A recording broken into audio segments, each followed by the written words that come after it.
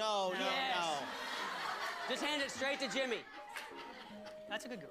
That seems really dangerous. Like, I know it's funny and everything, but it seems like a dangerous animal to have on my desk. No, you're fine. Come on up here. You can give it some pats right You're here. bleeding. Why This am is- I this is fine? A caracal.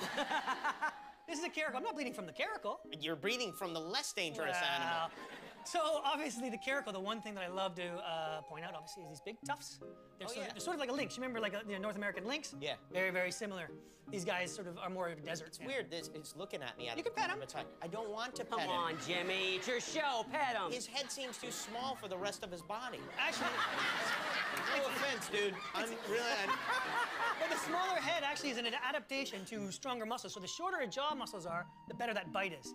This guy's one of the best predators in, in the wild. When he actually Right. sees something he wants to eat, very few things can get away from it. Now, is it like a cat in like like what? Does it eat mice and stuff like that? Or Uh, they can eat anything that's smaller than. Come here, buddy. does it kill for fun like cats do? Uh, well, it, because the predator defense is uh, far more um, an instinct. So they don't always hunt because they're hungry. They hunt because they can kill something. I see. And and so and it's like something like this. Like, can you give it like if you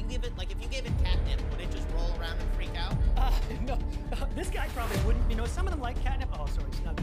Um, obviously, they're not like domestic cats. And the, and the one thing, obviously, you'll notice with this big harness, with the big harness, Yeah. it's obviously it looks like it might make a good pet, but these things are actually quite